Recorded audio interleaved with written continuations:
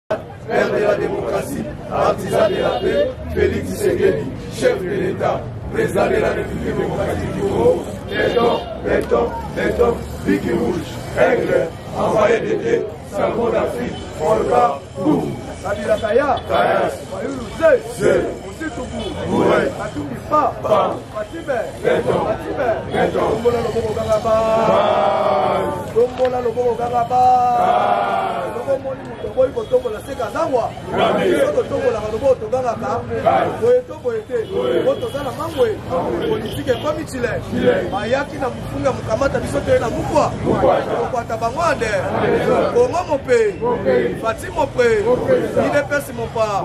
remise et reprise avec jésus christ pouvoir na biso tokotika yango ti mokolo yesu ako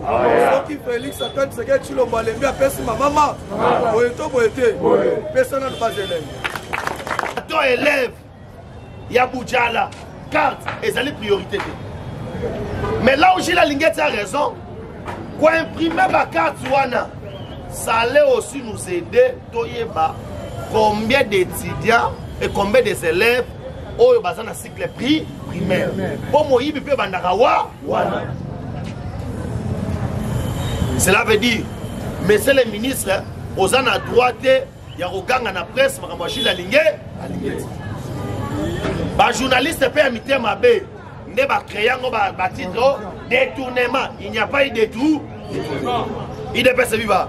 coup de chapeau na juge alinge ti alakisi biso mpenza ke non azali soda du peuple azali prêt ata na présidence ata faci ye moko igf akotinela ye odita nde idps viva e soki amoni sanva pa koloba pena mokonzi ya mboka namoni awa saneva bongo to bongo te boye nde kongo ekokende libo nasoka combattant eh, ndenge nini sila lingeti azobosana ke toni mo baze ministre de te oh. te soki oyibi oza moyibi mais awa makambo moyibi eza te ezali ke faso bakendaki na makambo jila lingeti azali tout à fait na re lundi oyo oh, déjà nozala lubumbashi lundi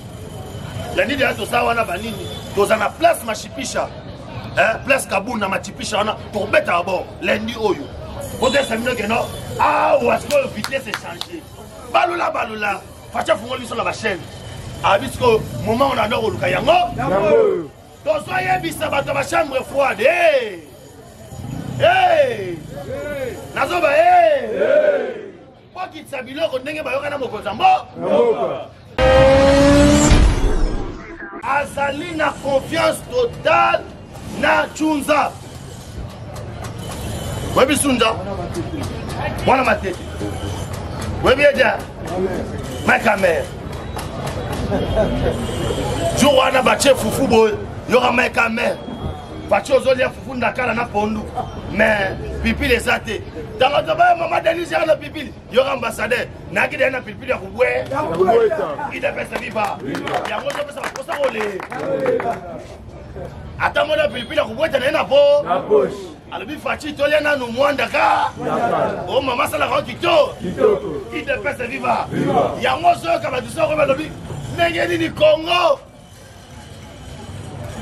ekomi lokola eloko moko etats-unis atie na poche non mon frère motu aleki yo na makasi basinyake te keba ntango tozalaki bana mike soki oyebi ke no masa aleki na makasi yebali ya litutuno nde kobima etats-unis azali première puissance mondiale soki lelo rdc aza mposa develope mbango asali ye na nani estce mwana na yo oyo aza na mayele te to aza moins intelligent soki akomi kotambola na le premier na bango osilika o ndeni mwana na ngai amotambola na le premier de la classe okosepe yango nalotuna yo bato otelemela partenariat oyo oyo kindoki te kindoki papa nakomi masa le premier de la de la classe wana nayebi totanga masa na ngai bandosala jido biso toye nanu na mwa nsima aganye awa biso wana na komi na kinsen osen tobeti bato abo ah, ah, so masa na ngai sikoyo wasonga na sika asetire na ye natie boye ba nata mwana kimono na ye ye wana na nsima na ngai sikoyo yo sikoyo ya kosimba ngai nde sikoyo biso totanga etasi libo papa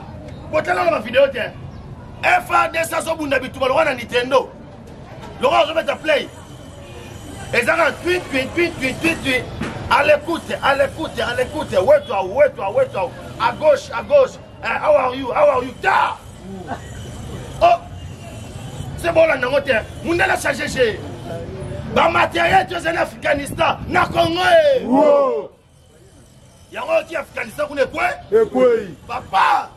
posala biloko wana ifo ozala mwana tisikeli wa mulu mulu manikabe papa okosala nanga makelele yo tata na yo na mama na yo na outa wa oyaka na boti ya 22 na mako opreta serma na mobo tala pesa mula mulai olata masatomo na bula kesele mene emenea akomesana tomonana bokeayanafini mutu nalobi ndenge mutu azala azalaka ndenge ozalaki nde tokoloba ya yango tous les bateau baye basali ba o oh, pprd esalami kabila na pou mais idps esalami faci na pouvoir eh. yango naboyaka bango biso ba baye oyeli nga polo ya lia nabengani yo twana naza balie te biso moto toza kolenda idepesa viva keba président na moma campagne bakoya madie oyesaka mpena keno na ye osepeli me ntango tobanda masolo yo ozalaka biso mpe tozala besoin badepute na bi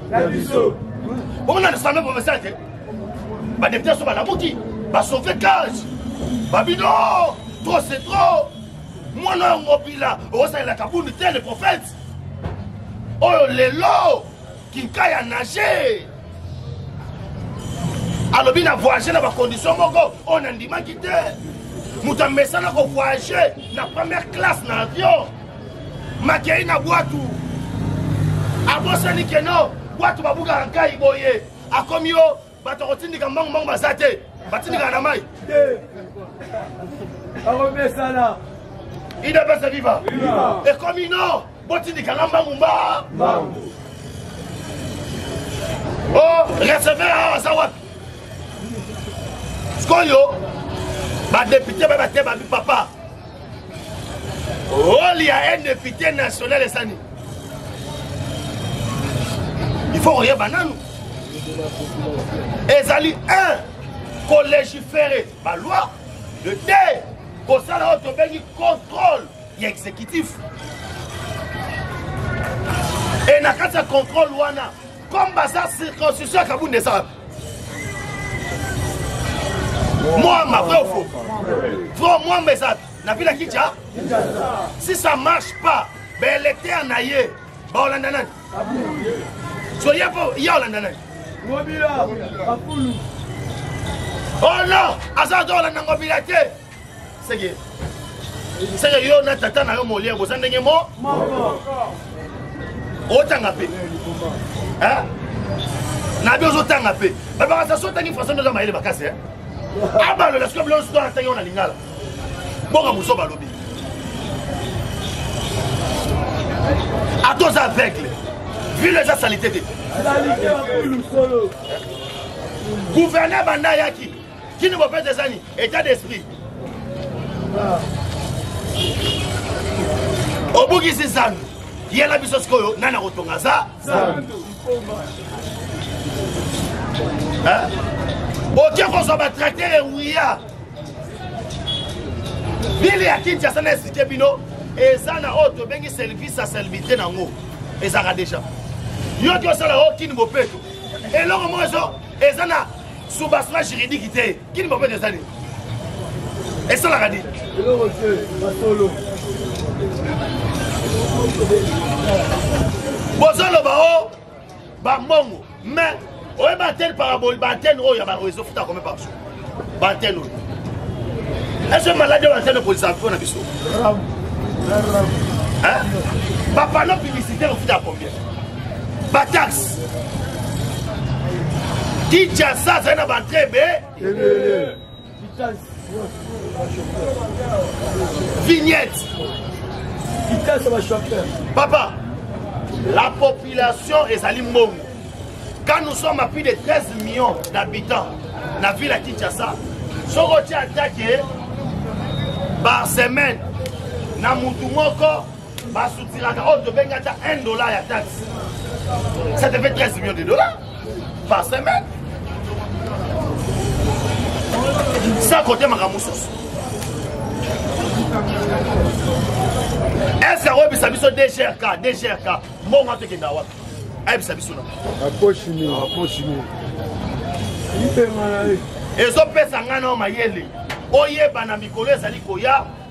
moto nini okovote na moto nini okovote eh? eh. epesa biso maye nake na bandoshi te tokoti mbala moko na dossier ya militaire américain toyebi ke bayaki wana ezalaki échantillon ya 12 personnes oyo bakendaki bakekuta na chef de l'état bazwa bamission claire pourquoi bakuta na chef de l'état parce que celui le commandant suprême esengeli coordination ya makambo nyonso tout ebanda kosalema directement na présence de la de la république bayebisi mpe mokonzi ya mboka wa bino toyei na bamateriel na biso mais lokola bino bozalaka chaque temps infiltré totravaille na canal oyo kaka biso na yo nde tobanda koyoka makambo oyo tosala yo ozopesa mama oyo jonction boye so batiki kanal wana pama mpo ani boyebike na ntango ya faci awa satelite oyo bandaki kolandela biso ya barise ekweyaka na kisangani omona satelite mo ekweyaka apart wana ntango faci azwi pouvoir awa je pense 6 mois après bakata connexion internet ono cable mo ese detachaki non ezali cable te ezali ke non serveur central ya communication nde tozalaka whatsapp biloko tu bosalelaka nyonso tu bokomaka o bobenganaka boye na boye ebanda koleka nao na rwanda na nsima nango ye na ko yango omoni barwandais bainstallaki eh, société na bango moboye rwandes airways banda koya ah, tous les bato bazalaki koya bazalaki baservice ya renseignement epuis na niveau aéroport ya njili batiaki babiloko na bango oyo ebandaki kosala keno circuit nyonso to ya président eza koleka c'est pourquoi banda komona ke chaque fois président azolingaki par exemple mali kaleb esi akendela ede ya mali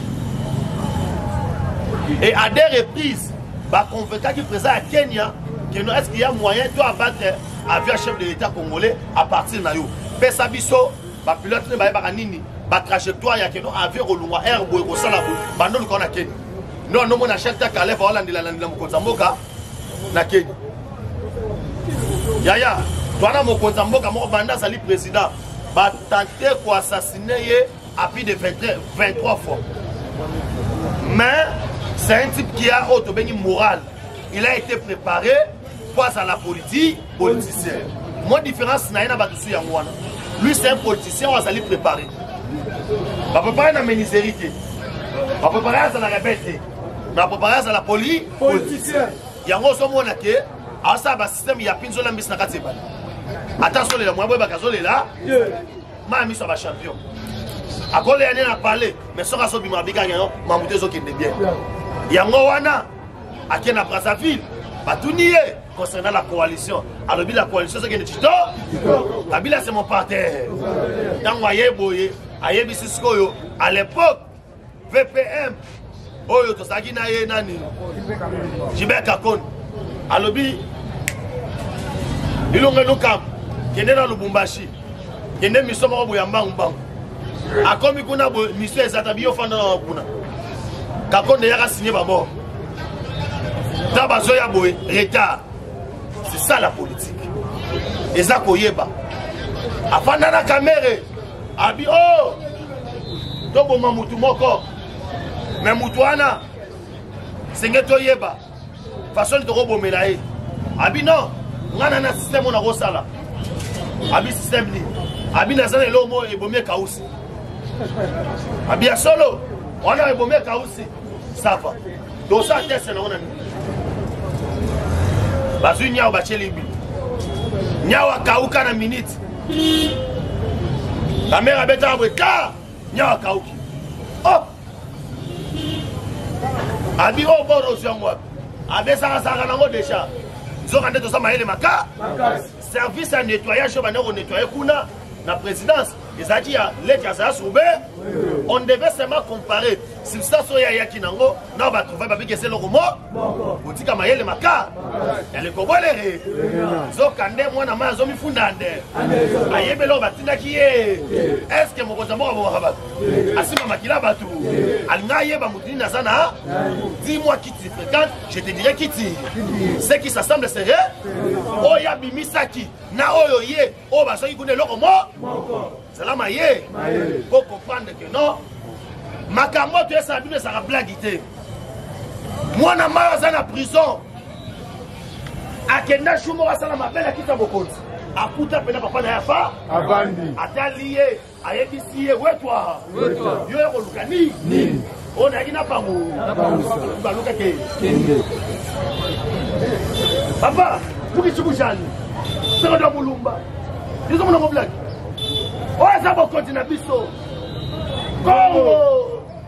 Kongo dia toti la oyo ya biso ya bato mosusu te papa timoti manga aloba lubumbashi obatela mboka oyo lelo koma otya monoko lubumbashi lubumbashi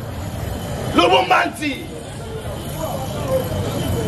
lendi oyo deja naza na lubumbashi lendi lendi deja toza wana banini toza na place mashipisha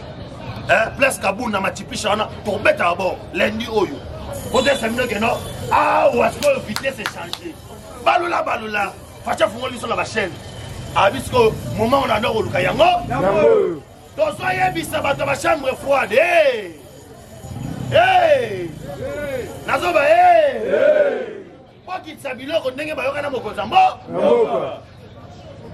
bosala hipokrisi ere yango yango oyo bokitisa bilo biloko nde boyoka na mokonzi ya mboka balobi no lile maritime congolaise eh, nani azwaka mbongo naza na communiqué awa balobi bataxi nyonso tuma balobiki bazwaka wana bayebi yango eh. baza na raison komatisa biloko te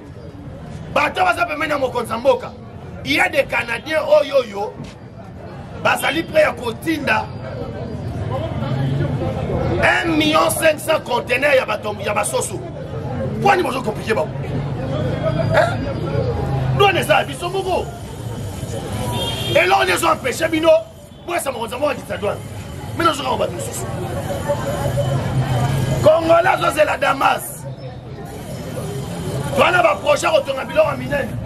Mais ba français balobi une vente en famille n'a point d'or. Avant de bien travailler, il faut ma soki yango mambo ya damas bino bozo komplike bokomplikeleni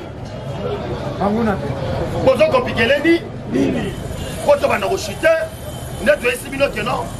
bozala na kimia bozala na kimia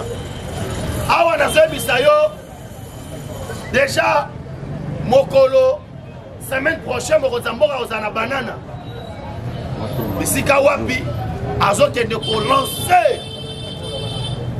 bacoup d'envoi mpo na kotonga port ya haut profond e permettre que non to se concurrence na bapays mosusu avant totonga port na brazzaville mpo to s'assure que non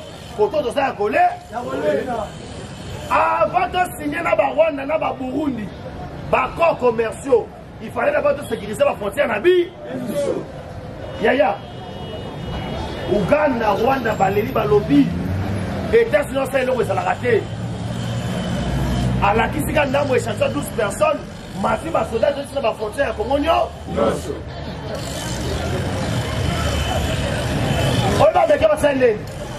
Ba tali kaka ba congolais oyo ba sana me na état sud ame. Oyo ba yaki oyo woni mwa mindele mwa ba tumundo muke. Wana ba nationalité mususu. Mais andi ko tala boye. Oyo origine ya Chibwa, Chibwa. Kende na Congo.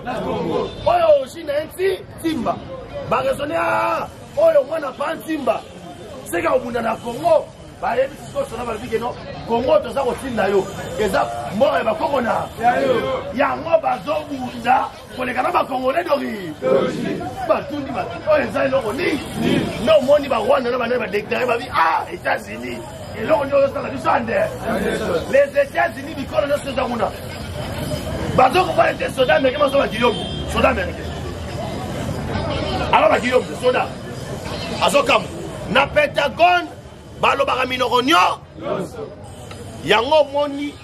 En matière ya sécurité, États-Unis atiaka 45% ya budget na ya matière ya sécurité. Ntango oyokaka siya ezali sécurité internationale yalandelaka makambo nyonso ezali koleka sur le plan international fbi azalaka mpo na zone américain e na kati kuna eza na bato atravayaka 24 heures sur 24 oyo bayokaka mabutu biso tosololaka e mpo bazwa eloko tu na telefone na yo bababi informati batinelo lien oyo balien oyo tozwaka oyo isiba tinelo lien mo deke oklike kaka boye ta bazwi nyonso eza na combo na na yo yango omoni bazwi mokonzi ya mboka batie na ligne moko sécurise eloko ya liboso basali yango wana botama banda koloba keno tobeta boye tobeta boye oyoki lobi badepute ya est balobi faci zwa lokumu faci kumama faci me beton beton parce que eloko ezalaki ndoto ekomi reya na moment nazoyesa bino guerre ezosi maintenant qu'est ce que les américains sont venus faire un protéger nos ressources naturelles de deux bazobanda ko extraire biloko awa kolamba yango awa ba français na ba belge botya mulo balongoli bango na nzungu ya damas batye bango bana kolia lokola bato nyo batya mpe mulo pourkui soki lelo tolingi tozala makasi eza na biloko etats-unis aza mposa ebima te iranium facha rejete invitation ya chine combien de fois dixième fois yango eza okomana politique ya dixième fois yango tomoni chine aye mbangu eloko ete batonga pai eza don 100 million ah. bayaki do na non oyo tosala ba ata don abi merci na oboya don te po eza politike ya maye waya boyo yango alobi eza ya mboka na bi oyiba na mboka na bi botongela bi andimi o oh, totongela bino 157 eh, territoire andimi mais baaméricain bayebisi ye boye kokoma na chine eh? boso okomi na chine bazoprepare banyata oka cancer bokopai politike eh? banyata banyata ni ka cancer moya okende kuna soki ye président chinois alingi aya aya na kongo ye mo bobeta masolo na ko désormais makambo ya investissement so moto alingaka kosowa na yo asowa no kaka na ko yango bomonaki ce dernier temps pati azalaki mingi ka awa awa abimaki na afrique batourne tomonaki ase na afrique wana kuna ezalaki pour convaincre ce pays mpo na monnaie ini c'était ça bayebisi ye biso moto okotie sikoyo otoza kotie mpa nani grande puissance boloba lisusu patena ya lokuta mbongo ya mboka asalaka bavoyage chilombo airways boloba lisusu nya papa américain asalaka eloko ya moke te Américain pas pesa kamutu mandat ah, te apesaka mutu ni mission naoshite wana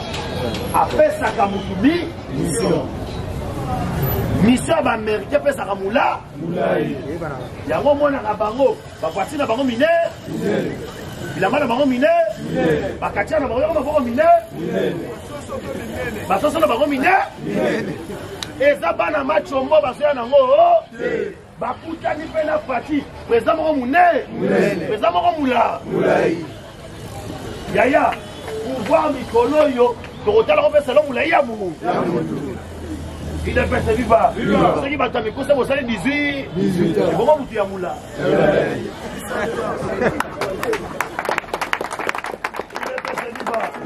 totala dictateur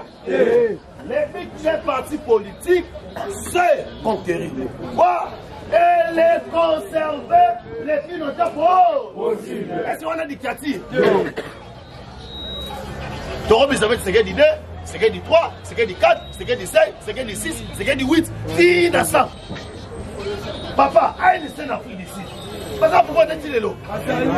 eza lisumu yo na mono ndenge bozobanga ozobanga nini nalobi anc na na afrique du sud baza to baza te viva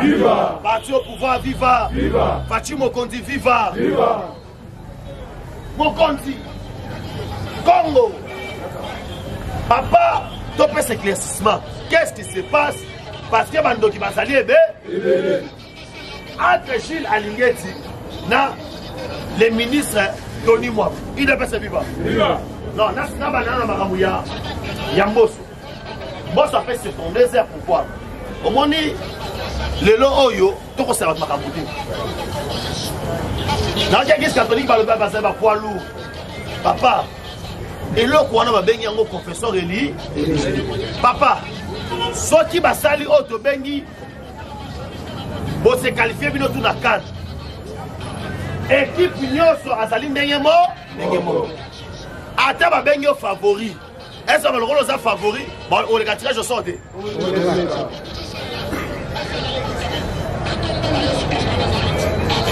Est-ce que soki ekipe eza favori, a regarder un match nyonso? Tomona favori balongo na première? Papa. Boke esika moko. Soki main noire eza na nsima te.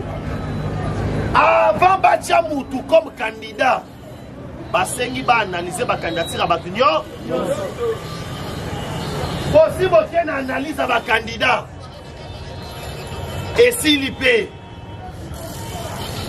premier élément balobi consensus consensus elingi koloba boyokani soki boyokani esimbi te bokende na mapo na baponami bakei mpe na mabo na baponami esili mpe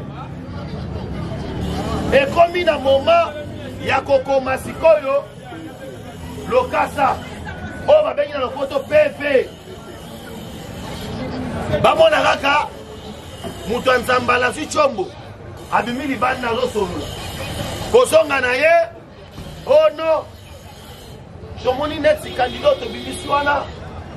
azali proche ya président o oh, tokata awa ntango bandeko balingi baloba akati kura daye kutuka bobima bobima bokende wana beshona me bino boza basango eglise au milieu du vie bino na botasa biso oyo tobengi eh, dialogue boyokani papa bolingo babengisi bino epai ya mboso balobi no lokola bino bolobi ke ezalaki boye te sisi balobi ke ezalaki boye te mais seni azozwa pouvoir na ye wa azwaka pouvoir nde na nsambe na oyekwani parce que baélection wana bazosala eza biso peuple nde tokende kovo nde assemblée nationale asala nini apesaka bango makoki wana biki boga me abengisi bino boya ndenge pprd fcc basabotaki eloko yango bino mpe bosabo se boseloko moko oyo tokoya te bokoya te solution ezali ni yango boyoki bamosusu baleli babio no papa mboso prépare déjà un second mandat pour le chef de l'état baloba papa mboso les actions du chef de l'état vont permettre que ba peuple aélire ye na mandat mosusu soki mpe bosakani peuple abakisi le troisième ma mandat cinquième ma mandat sixième ma mandat le pouvoir du peuple pour le peuple par le peuple c'est la démocratie papa mbosa ngai kamoni mbosa boye baba basibe oya baboyi koya biso osali nalobi baboyi koya biso tosala nini kokende les chiens en bois la caravane hein? oh non idps te bino mpe bosalaki biso ya lipa te kolala na ngambo na biso te et puis biso nde tokeza ba élection te ya biso nini na ka nzoka nde moto ya nzambala akendaki na kandida mpo facha soutenir ye kandida wana mpe bayokani bakende jeudi ye mercredi epai ya faci ye o naye tosola na nga mo mpo so toye wana so toye na tipu wana esenga tokabola katika atuni oyeli nini o no naye kaka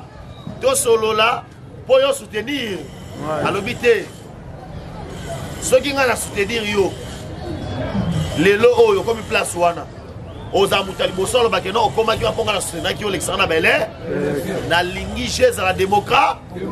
ngambo na yo na fromage na monoko nakende koluka ya kosunga ya likambo ni la quartier de l'enseignement eza damas eki babiye na vie eki kala mingi te somme dikoyo fe nakolukela yo ni nde ntango moto ya nzambala ye olungu wana oza fo omikendelaki yo moko yo babi olinga tokende biso moko oliela ngai ade do moni mbwasui mbolalo bokokanga ba lelo oyo bakomi koluka bechapa zoka nde réalité yango wa kanda na bango c'est la quantité de la seigneur ntango bakanga bango miyi balobaka lisusu bakanga munoko baloba lisusu na moto ya tete mpo baza miyibi boloba lisusu ekomi no tobanda kozwa banda kala basangana o te tosisa toboyikote leta mpasi bango abi papa boboyikote kotangisa gratuité tondimi bokofuta bataxe nyonso banda kongo ezala ko onga na bandofuta basenya na bi bofuta bataxe na baekole nde bazonga o te Eh, totyaka na se tosanga les gens qui cherchent toujours leur intérêt ils veulent que moto bakotya na seni azala moto oyo bakomanipi banda balobaki toyebi moto aganye baélection silo bayebisa biso ye naoshite awa yoka siko awa toni mwa bato esplike bato na jila lingeti mpo bato bazonga mema ngo soki soki mpe ndenge na jila lingeti na toni mwaba makambo eza normal pourquoi eh. 13 millions de dollars bozoyoka na ebimi te eza mbongo efale ebimi me efuta bato ya ba basali mamwa te na faible boyebi ke leta azwaki charge alobi bapaa bafuta ata sans fra te tobeta na mokonzi ya mboka molo mais il se peut que eza na baprovince mosusu banke eza te esengeli mbongo wana ekende na maboko me moto asungaka biso mpo mbongo wana ekende ezali caritas ya basango bino moko boyebi basango wana nde baza na oyebi biso moko sikoyo bango basengaka 20 ya montant botinda par exemple soki ozotinda epai na bango 100 dollar il faut opesa bango 20 do maintenant leta sikoyo na budget mpo na kotinda 13 million wana a prévoir mbongo wana ya frais supplémentaire te maintenant pour le ministre il faudrait faire quoi il faudrait à partir ya biso moko basorganize na epespe batala bato ya malonga mpo batinda mbongo wana or avec gile ya lingeti na niveau ya banque centrale avant mbongo ebima esengeli oya na note justificatif oyo ezolakisake no mbongo oyo ezobima ekokende boye circuit nango kotambola no normal jila lingeti asali mabe te c'est un vaillant soldat bongo nde mbongo esengeli mboka esengeli kotambo tobeteli na mabo makasi pourquoi parce que makambo ezosalema de vitesse te ezala aza ministre ya idps ezala uta na pprd ezala uta nini kati ye membre du gouvernement bozali ndenge mo le contrôle esengeli esimpose na bato nyonso udps viva nazomona place mabe jile alingi ete asali place wana aza na posa mbongo soki ebimi oyo ebisa biso par exemple yono tolongola 13 million awa ekoleka na maboko ya benjamin na nsima benjamin ekende na maboko ya motu boye maboko ya motu boye bayeba mpe benjamin yango oyo ozopesa mbongo azali motu moko azali crédible to azali crédible te eh? mpe toyeba na province boye mbongo ozala loge ewa mais ce que j'ai pas aimé ezali ministre koloba dossier ya validation ya bacarte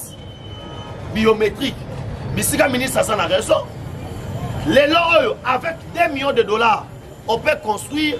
baekole ata 50 oyo ezali na baclasse normale 6 salles de classe urinoir toilette na bureau ya ba enseignant avec 2 millions de dollars tokoconstruire mpo eza baprovince suna nsi baso na bakongo kuna twana besoin ya basima te mabele na biso kaka tobeti babrike papapapapa evide donc na mposa kosala oyo te seni ezaka mwa sima moke totie bacolone batole esili te yango wana ekole te ozokama nga boye ndeti otanga te ekole bongo to bongo te twana besoin ebele te sikoyo boyoka ngai 2 millions de dollars esalela étudiant to élève ya bujala carte ezali priorité te mais là où jila alingi eti a raison koimprime bacarte wana sale aussi nous aider toyeba combien d'étudiants et combien des élèves oyo baza na le prix primaire mpo moyibi mpe bandaka wa wana cela veut dire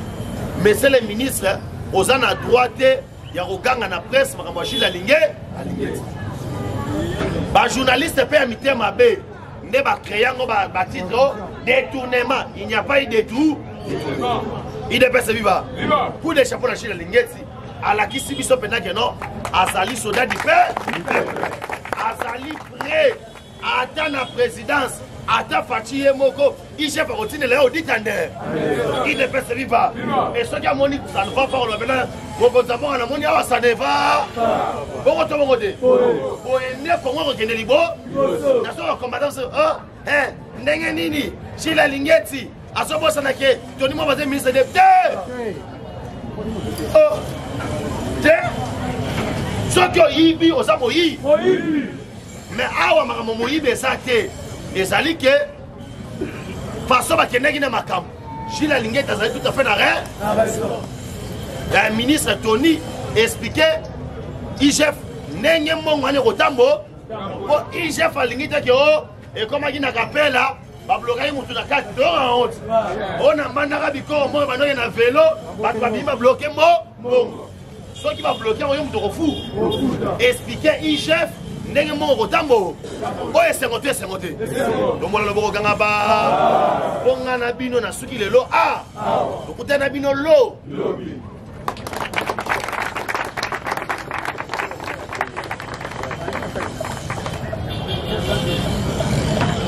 IDPS, viva! Viva! IDPS, viva! Viva! Etienne Tshisekedi wa Mulumba et National, viva! Viva! Viva! Parlement Éthiopie, viva! Viva! Viva! Viva! Tshisekedi et National.